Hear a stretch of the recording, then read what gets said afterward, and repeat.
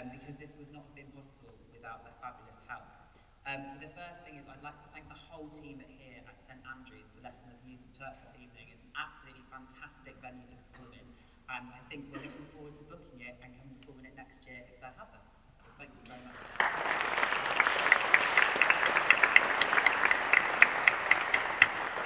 The next thing I'd like to thank, I'd like to thank the University Photography Society. You might have seen them wandering around taking photos, so thank you very much, guys. Your help is really appreciated. I'd like to thank SU Media, who have been filming the concert this evening, so thank you to SU Media. I'd like to thank our wonderful team at the James Street Vaults pub, who are our, the choir's wonderful sponsors.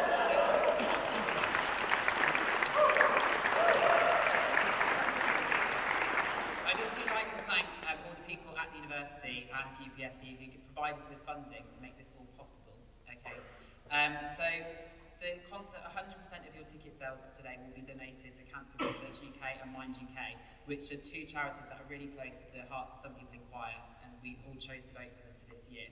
Um, so we have a bucket at the back, so if anyone feels that they want to donate any more money, that would be fantastic, so they, we can donate as much money as possible to them so they can continue doing the fantastic work they do.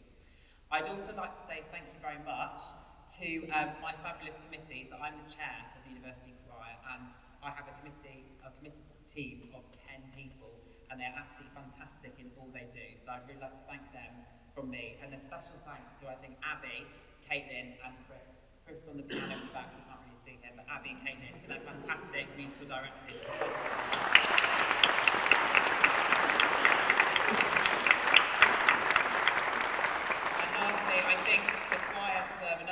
applause because, to be honest, it wouldn't have been possible without them attending rehearsals. So thank you very much.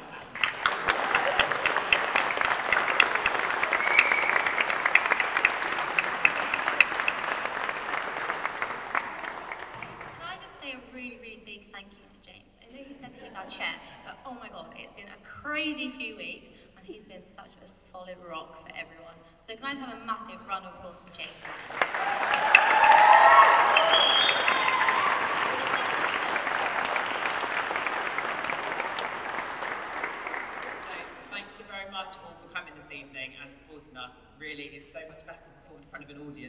Ourselves. So thank you very much for coming and coming to support members of the choir. So thank you.